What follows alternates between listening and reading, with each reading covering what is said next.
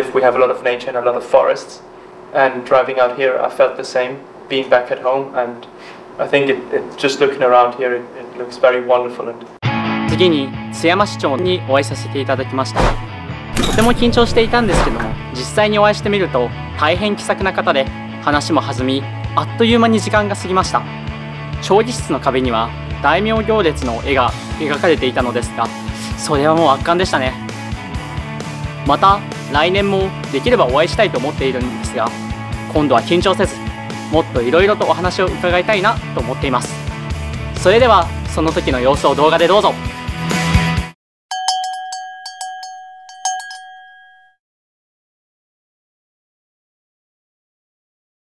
そして今回の訪問を契機としてですね今後とも継続して関係を築いていただければ津山市としても非常に嬉しく思います。今後ともどうぞよろしくお願い申し上げます We in Siama would be very pleased for this visit to be the foundation of a continued relationship in the future.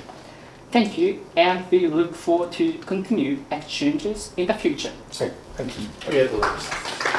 まあ、洋楽、洋楽、蘭学ということで、えー非常にですね、えー江戸末期から、えー明明治の初期にかけて、この日本の礎をを作ったですね、えーそうした素晴らしい蘭学者をたくさん輩出しております。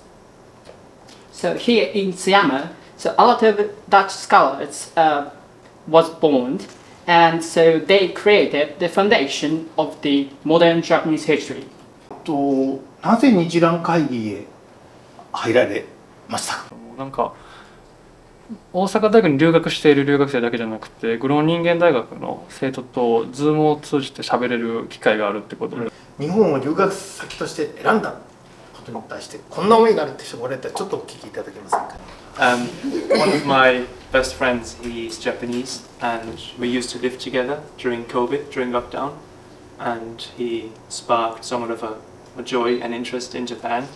And now, two years later, I had the opportunity to pick Osaka as my exchange um, destination. And I am uh, I am a student of economics and uh, I chose Japan because Japan is one of the leading economies in the world and compared to other leading economies like America, China, I think it is relatively a very peaceful country with uh, very kind people. That's why I chose Japan. あまだわからないかもしれないけど津山の印象いかがですか I, uh, yeah, the rural towns like Tsuyama. Yeah. The, where you have many landscapes, you can see um, you can see more than just buildings. You can see the landscape, and um, it's it's a bit more peaceful, less people, which I find very nice. Oh, Um, well, actually, driving here, I was uh, reminded a little bit of my hometown. Um, it's back where I live, we have a lot of nature and a lot of forests. And driving out here, I felt the same. Being back at home, and I think it, it just looking around here, it, it looks very wonderful, and I think it's a quite unique and beautiful spot right in the middle of nature.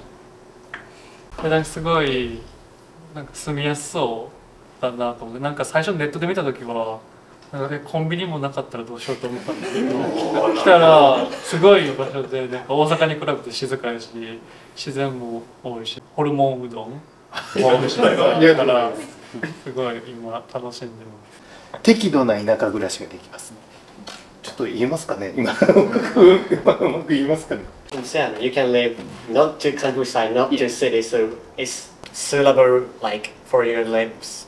Yeah, it's a good point of this city. まあやっぱりあの生活をしていくにはさ最低限の都市基盤っていうのが必要ですよね。病気になったら病院があるとかね。子供ができれば学校へ通いたいとかね。当然買い物もしなきゃいけないし。ね。あの街の賑やかさとかも必要ですよね。